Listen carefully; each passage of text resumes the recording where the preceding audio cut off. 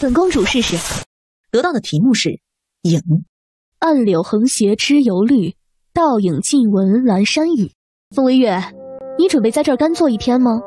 这里有人举手了，出题吧。凤微月是不是傻了呀？他还要作诗，不怕把太夫妇的脸都丢光吗？我觉得他实在太好笑了，也不看看这是什么地方。他以为是戏园子吗？跑这儿唱戏呢？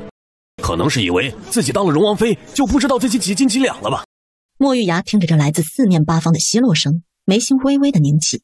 这边，沈克文抽出题目，以梅为题，想了想，凤微月的脑袋里冒出了自己对梅花最深刻的一首诗：“卜算子·咏梅。”风雨。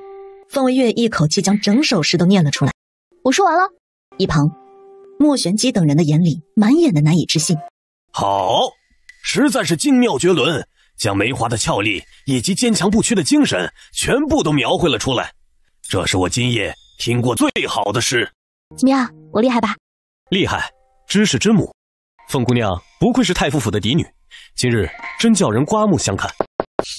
彼此彼此。接下来，凤微月又以两首辛弃疾和苏轼的诗句惊艳了全场后，顺利进入了第二轮。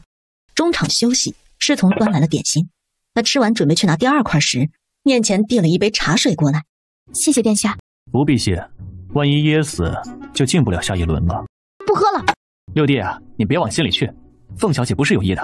明日教你两招。您好嘞，多谢人王殿下，就知道你人最好了。一旁众人是目瞪口呆，莫玉雅有些头疼的揉了揉眉心，还真是没骨气。